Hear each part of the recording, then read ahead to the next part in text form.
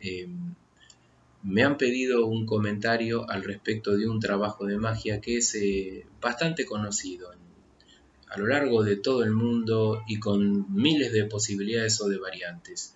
Son los amarres en donde a la persona a la cual se le hace el amarre se le hace beber sangre de menstruación. O sea, es un amarre que lo hace una mujer a un hombre o una mujer a otra mujer. O sea, es un amarre que puede funcionar como un amarre gay femenino.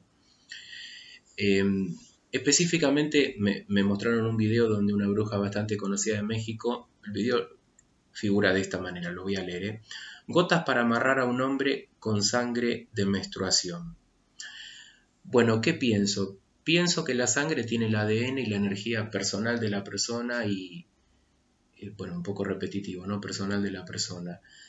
Eh, pero así es, es, como una huella digital, es único el ADN y la energía que tiene la, sangre.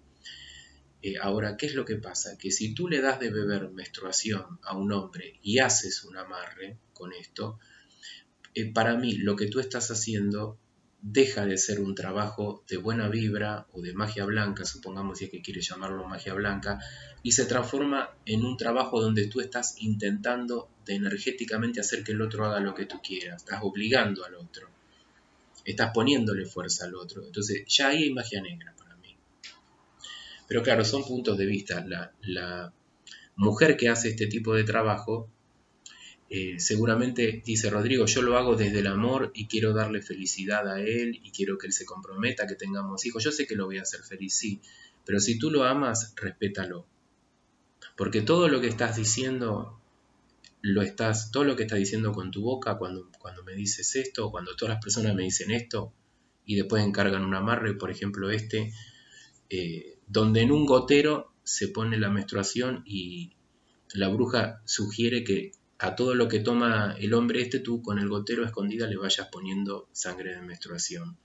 Me parece perverso, me parece enfermo, de muy mala vibración, magia negra, y si tú amas a alguien, no le haces un daño así, no le haces beber tu menstruación.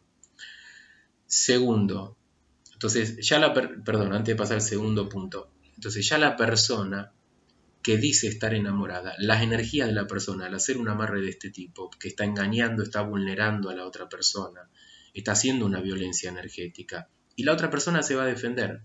Entonces, probablemente en lo que termine esto es en una pelea mucho más fuerte entre las dos personas que evidentemente están en crisis, por eso la mujer le quiere hacer un, amarre a un hombre. No tienen por qué creer todo lo que estoy diciendo yo, ni opinar de la misma manera que yo. Yo simplemente les digo algo. Hace 22 años que hago esto.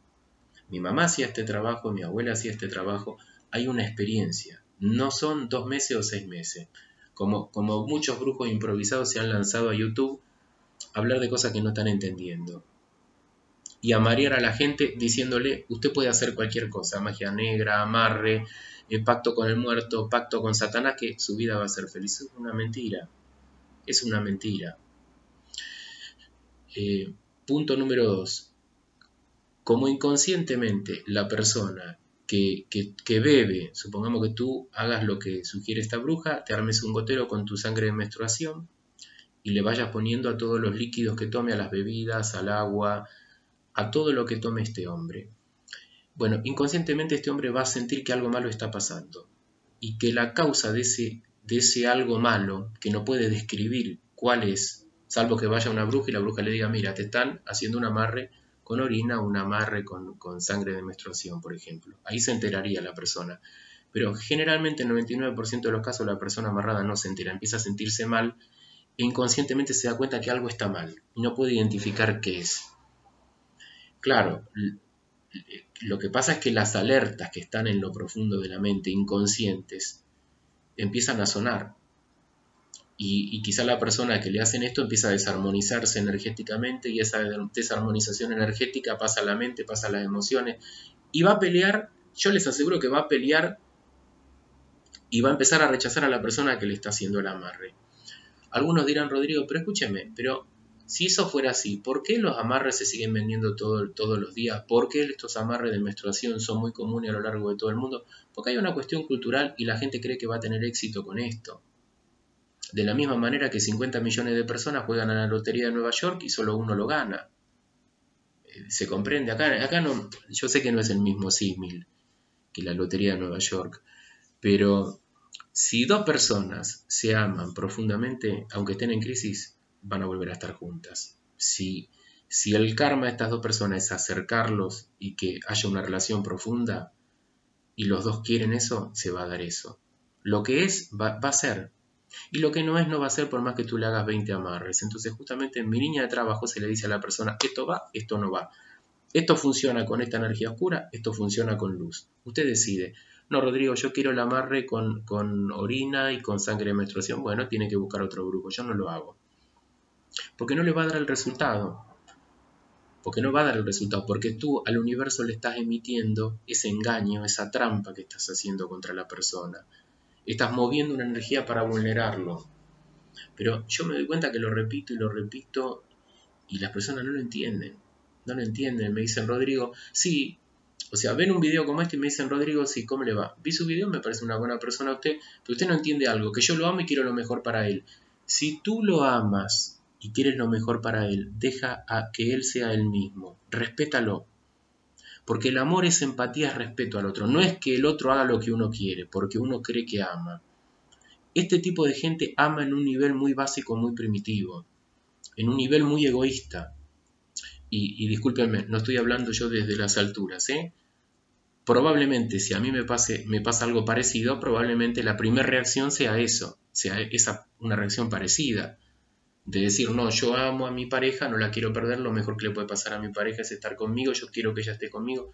Pero a ver, eh, no hay que recurrir a cosas que van a generar mal karma, que van a joder tu vida. Y si tú tienes un amor, no le, no le hagas perder calidad a ese amor, no le quites la empatía. De todas maneras, eh, era esto lo que, lo que quería decir. Específicamente, la persona que me preguntó eh, esto me dijo, Rodrigo, mira este video. Claro, esta, bruja mexicana bastante conocida que está en YouTube arma un gotero que es para tomar los remedios en gota, no tengo acá ninguno como para mostrarles. Entonces uno lo carga de la sangre de menstruación y creo que de agua, hace un ritual y eso se lo va poniendo a la persona a la cual quiere eh, conquistar, a la cual quiere amarrar. Esto no es amor. Esto no es amor. Si a ti te parece que el amor es esto, es que tú estás enfermo. Estás enfermo energéticamente, emocionalmente, psíquicamente, no estás bien. Y estás vibrando en un nivel muy bajo, porque esto no es el amor. Ahora, la, bruja que recomienda esto, para ella probablemente eso sea el amor. Eh, hacer este tipo de cosas, vulnerar a la gente, atacarla psíquicamente, porque esto que, que tú haces es un ataque psíquico aunque tú lo llames amarre de amor, es un ataque psíquico. La persona se va a defender, lo va a rechazar. los guías espirituales de la persona, los guardianes, los ángeles van a rechazar todo esto. Entonces por eso las personas cuando se le hace un amarre, generalmente lo que pasa es que se pelean. Se pelean los dos de una manera terrible. Yo, lástima que no me autorizan algunas personas, pero yo tomaría 10 audios de 10 personas distintas que han hecho un amarre y, se los haría escuchar. O sea, si alguna vez logro el permiso, eh, yo, lo voy a poner ese audio y ahí lo van a poder escuchar y se van a dar cuenta por ustedes mismos. De todas maneras, no hay por qué creer lo que digo yo, no tienen por qué coincidir conmigo, tienen que hacer su propia experiencia y como siempre digo, hay gente que necesita comer mierda para darse cuenta que la mierda no se puede comer, no es rica, es fea y genera malestar. Hay gente que necesita comer mierda y hay gente que necesita hacer amarres. Es un aprendizaje.